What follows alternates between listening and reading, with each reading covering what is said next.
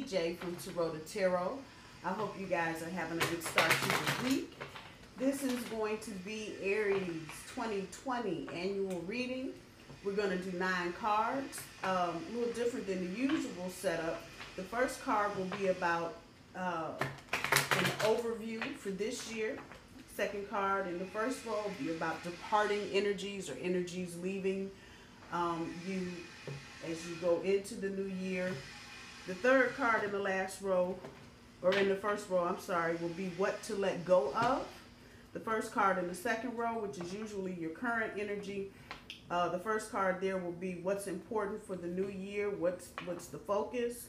Second card in that second row will be about your challenge, your obstacle, which is the usual placing for me in a reading. So that'll be your centerpiece, the sixth card, which is also the last card in the second row, where your help will come from next year. First card in the third row, upcoming opportunities. The second card in the third row, what needs to be aligned. And the last card in the third row and the last card for the reading will be what to avoid or any caution for the upcoming year. Oh, housekeeping. Thank you to everybody that has liked, shared, and subscribed my YouTube channel this year. I love you. I appreciate you for it. It gets me all weepy eyed when I start talking about it, so I'm gonna leave that there. So I'll start weeping and crying. Um, indefinitely. Personal readings are twenty dollars. I've been knocking out two or three every day. Hit me up at taurotatarot at gmail.com. Other information listed below. So let's get this cracked up here. So it's gonna be last year, your departing energy, what to let go of,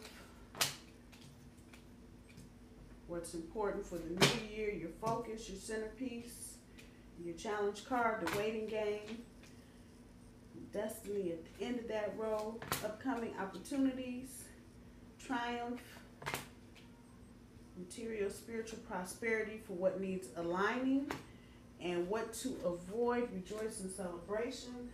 Um, you can also see that as the Three of Cups. Come out with that.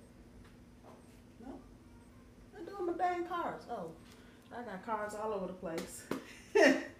Mental conflict is pulling the Ace of Coins. Conflict and defeat is pulling the King of Wands. Victory and success pulls the communication card. The Ace of Swords. Harmony pulls the Tower.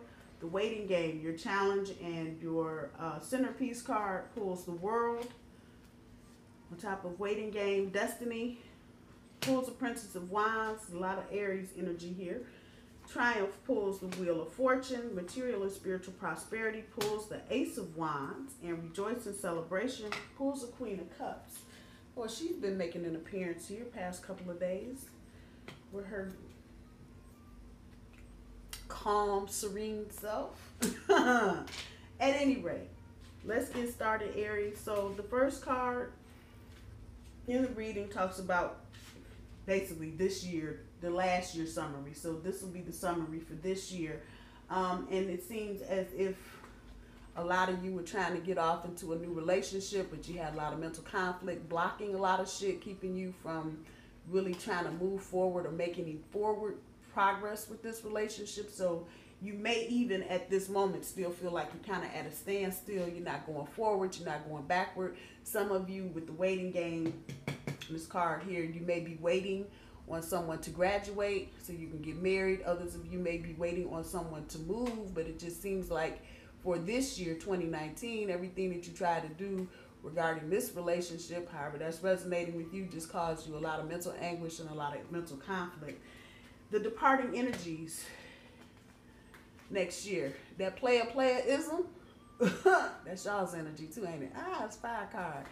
And the whole feeling of just being defeated and conflicted in everything that you do, this energy should be raising up off of you during the year 2020. Um, if you've been, for those of you that have been in a relationship and maybe you've been messing around with the player player, that's probably going to come to an end. Um, probably more from your end than the other end. They it feels like they want to keep hanging on. For those of you that are in this kind of relationship, feels like that person might just want to hang on. You on the other hand, like oh no no and hell no goodbye.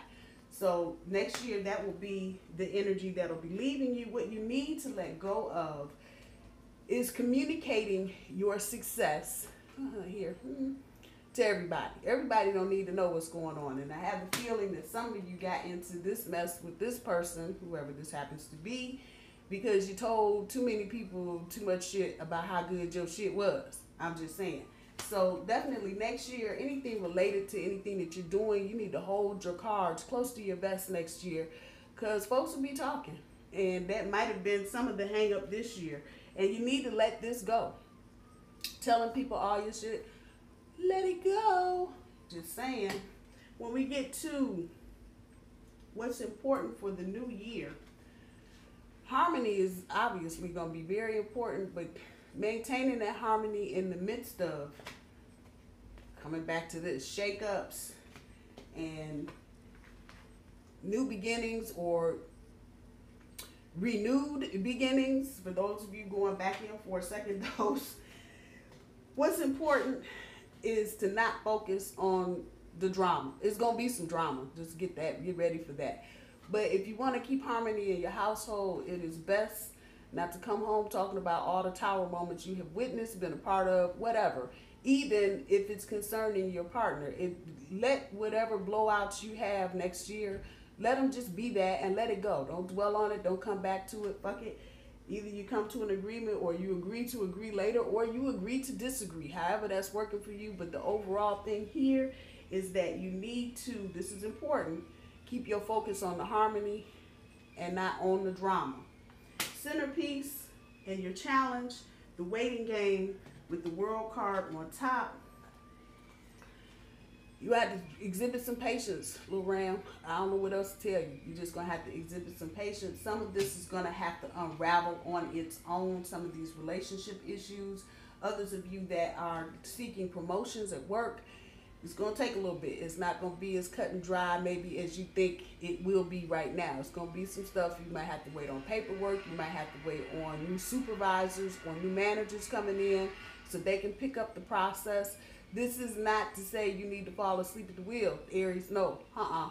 You just need to be patient, but keep your eyes open, especially if there are changes in management. You've got all the knowledge you need to complete, because this is about completion as well to complete whatever uh, cycle you're in, particularly professionally, uh, you got it, but you're gonna have to wait on it.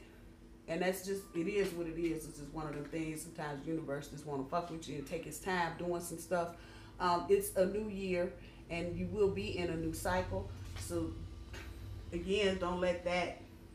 Um, don't let the fact that you are waiting on anything keep you from understanding that you're at the beginning of a new cycle. Where help will come from. And now you're talking about your destiny. People that are going to help you along your path to your destiny may be younger. They may not be where you are. They may be somewhere else on the map. They may be a foreigner. I'm just saying, you're going to throw all, all of it up against the wall. You don't know where your help is coming from in terms of people, and it might be the very person you think it wouldn't be. So keep your eyes open and just know that when you're dealing with needing help and you're on your path to your destiny um, as you try to negotiate out of this year and into next year, just be mindful of the people around you. It may be another fire sign, an Aries, uh, Leo, or Sagittarius uh, that might help you get through some of the bumpy parts. Keep your eyes open. Upcoming opportunities. Some of this shit is just gonna be the hell out your hand. It's gonna be the wheel of fortune doing what the wheel of fortune do, and of course the devil is always in the details. Um, however, the big signal here is that it's gonna be good, but you are gonna have to exhibit some patience. Um, you're not gonna be able to announce to everybody what kind of success you're having if you want want to keep things as they are and not have my cards are getting old. I need new cards. Random shit. Anyway, if you want to keep harmony in your home and peace in your home and not focus on the, the drama and chaos, again, you're going to have that. You're going to be successful. Wheel of Fortune is going to go where it's going to go. Uh, it doesn't feel like many of you are going to be surprised by wherever you end up. There may be some surprises, but for most of you, you are on a steady course. Looking at upcoming opportunities, it is best. I don't know where this is coming from, but it is best to kind of keep an air of innocence. This is your energy, Aries, but this is telling me it's best to keep an air of innocence and to keep looking for inspiration in the things that you do. Um, if you want to have any kind of alignment between the material and the spiritual, you're gonna have to just keep your eyes open and look for inspiration. Look for people and things that inspire you. It could be art, it could be music, it could be books, it could be a gazillion things. But keep your eyes open so that you can get into alignment, so you can start manifesting the, the type of material prosperity that you want. And I believe along with that, as you're doing that, your spiritual prosperity will be what it is. Keep your eyes open. Keep that air of innocence and wonder going and find your inspiration. What to avoid next year? Celebrating too soon. I can't say that no differently. You may think you got the job, but you might not have it. Again, by keeping your lips zipped and not letting your emotions get the better of you, Aries. That is what you need to watch out for next year. Um, everybody doesn't need to know that you got good shit going on. I don't know why that's resounding so loudly for me, for you, Aries, but like this year, it seems like you just got into some shit and you told people what you were doing, and before you could finish the sentence good, all your shit was just fucked up because people just kind of went out of their way to throw roadblocks in your way to keep you from having the kind of happiness um, that you're looking for. And this doesn't have to be strange people. This could be family members, cousins, sisters, aunts, uncles, brothers, you name it. Could be all kind of people that have just been kind of throwing shit up in your road path. The minute you get ready to go out, your aunt calling, can you come back to the kids? I need you to stay down here. Go down there. You think you're gonna be down there for an hour? You there for the rest of the evening? That kind of shit. Blocking your shit because people just I don't know. Human beings have an innate way of figuring out when other folks is trying to get up on a come up and get right in the way for no other reason than they just being nosy and don't want you doing nothing better than what they doing. So if you've had any of that kind of energy going on this year, the thing to remember is any success that you have, you need to keep it to yourself. You don't need to let everybody know what's going on. And to, to maintain some emotional equilibrium um, and not celebrate shit before it's time to celebrate shit. I know that's gonna resonate with somebody, but continue to seek out inspiration, Aries.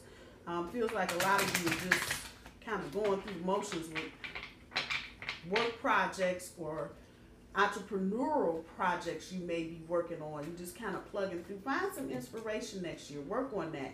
Um, try to take time to shut down and go to the art museum. It could even be as simple as going to an amusement park just to find some inspiration to keep you going and keep you uh, trying to manifest the type of prosperity that you're looking for. So we're going to do three oracle cards. The Hungry Ghost, the Dragon's Duel, and the Eagle King. So, here's my little box. That's what we're doing for Oracle cards today. And the first one is the Hungry Ghost. Obsessions, scarcity, conscientiousness, and attachment. Obsessions is what's coming back off of this.